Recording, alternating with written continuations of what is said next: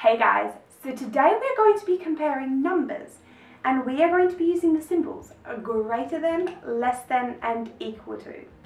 First of all, let me introduce you to our three symbols we are going to be using today.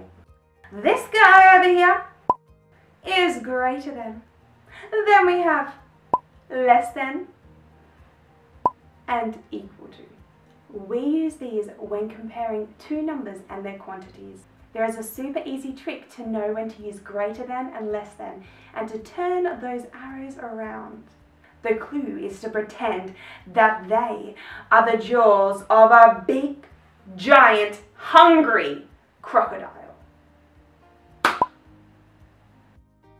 Now this crocodile is extremely hungry, do you think he's going to go for the number that is bigger or smaller?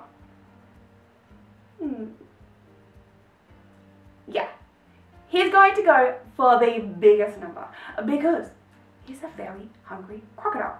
Duh.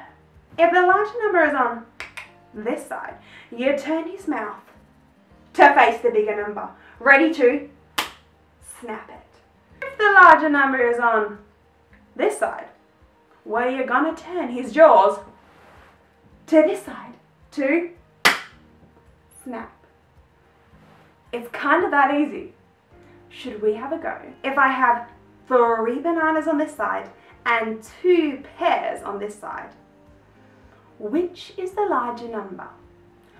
Three is on this side and two is on this side. Hmm. You got it. Three is the larger number. So which way are the crocodile jaws going to face? This way, towards the three. So when we say this, we say three is greater than two. And we use the greater than symbol.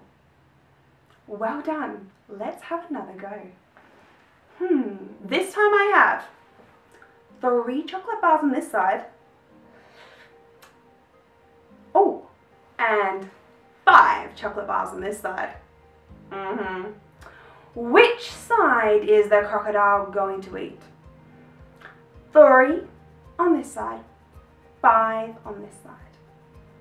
Which is the larger number or the greatest number? It's five. So the crocodile's mouth is going to face towards the five. Great work. Now when we say this, remember we start on this side, so we're going to say three is less than five because it's a smaller number. Three is less than five and we use the less than symbol, which means the crocodile has turned away from the three and he's trying to eat the five. You're getting really good at this. Let's try one more. I have four sandwiches on this side and four sandwiches on this side. Which side has the greater number? Hmm. Can you guess which side the crocodile is going to eat? Hmm. Four on this side and four on this side. Remember at the beginning I showed you the greater than, less than and equal to sign. So when it's equal or the same amount, we use the equal sign because 4 is equal to, well, 4. Well done, friends. Now it's your turn. I would like you to compare two numbers using the greater than, less than, or equal to sign. If you enjoyed this video, please like and subscribe. See you soon.